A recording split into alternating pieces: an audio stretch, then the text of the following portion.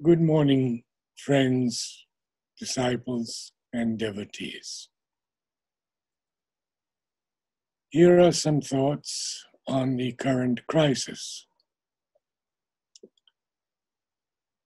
Today, a host of daylilies opened, displaying a beauty that takes one's breath away. In Mother's Garden, each day brings a new surprise, a vision indicating something of how the new world will look when the greed and power lust of man no longer despoils the earth. I listen to the music of the birds, the winds, the waters of the lake, and in the silence pray that truth may manifest before it is too late and a great cataclysm befalls the earth.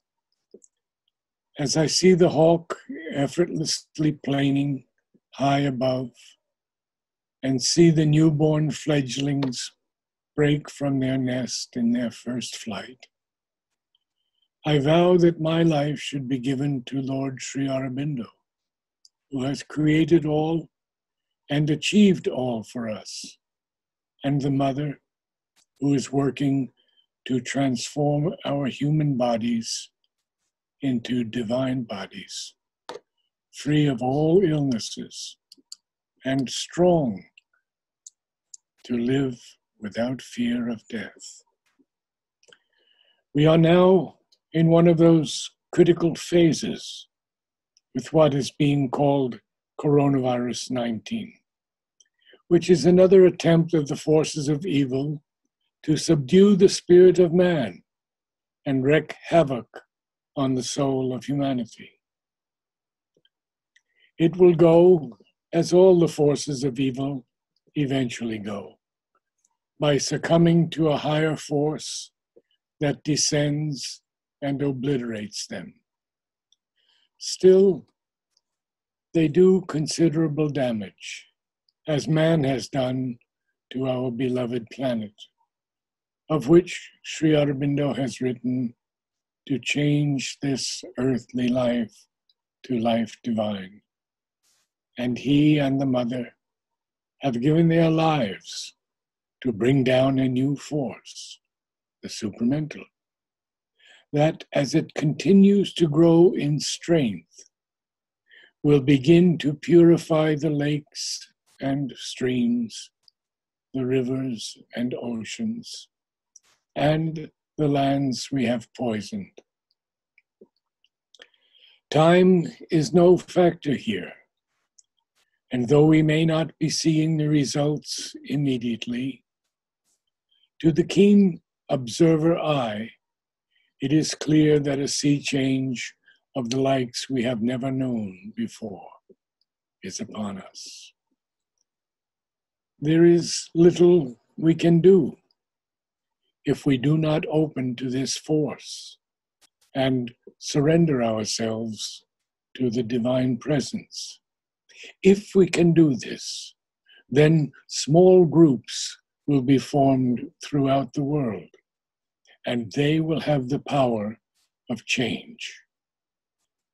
Each of us is asked to offer all we are and all we can be looking not back to the checkered past with its ample darkness, but to the light of the future, which has descended in the universe at the present time.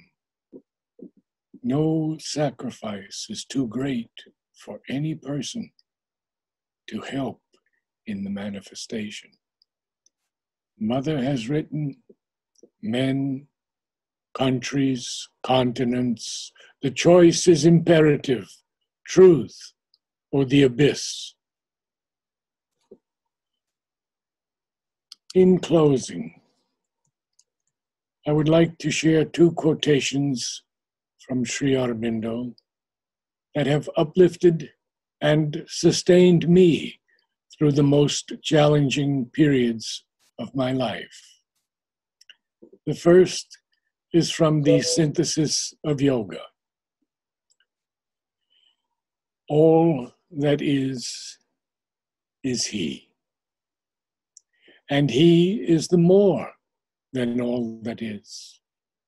And we ourselves, though we know it not, are being of His being, force of His force, conscious with a consciousness derived from His. Even our mortal existence is made out of His substance. And there is an immortal within us that is a spark of the light and bliss that are forever. No matter whether by knowledge, works, love, or any other means, to become aware of this truth of our being, to realize it, to make it effective here or elsewhere, is the object of all yoga. And this one from The Life Divine by Sri Aurobindo. The ascent to the divine life is the human journey the work of works, the acceptable sacrifice. This alone is man's real business in the world and the justification of his existence, without which he would be only an insect crawling among other ephemeral insects on a speck of surface mud and water, which has managed to form itself amid the appalling immensities of the physical universe.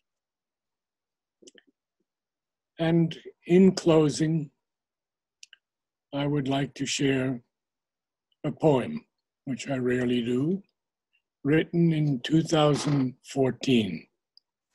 The title is The Terror Faction. Darkness forces in the world prevail and men to violence their souls align, to falsehood, knowing not that they will fail. Of imminent defeat, we see no sign. Embracing evil, they rush to fill their role, to counter the truth now rising from the earth. When will we meet each other, soul to soul? Acknowledge the truth that all are blessed from birth. These enmities we hold from ages past, symbols of a deeply twisted will to subjugate the brother foe at last, and gloating hatred's eager coffers fill. No end can yet be seen of human hate.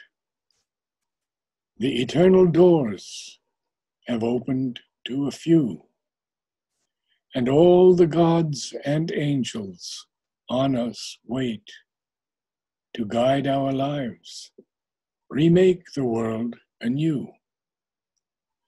But fewer hear the call and answer give. My love, we shall survive. In love must live. Namaste all.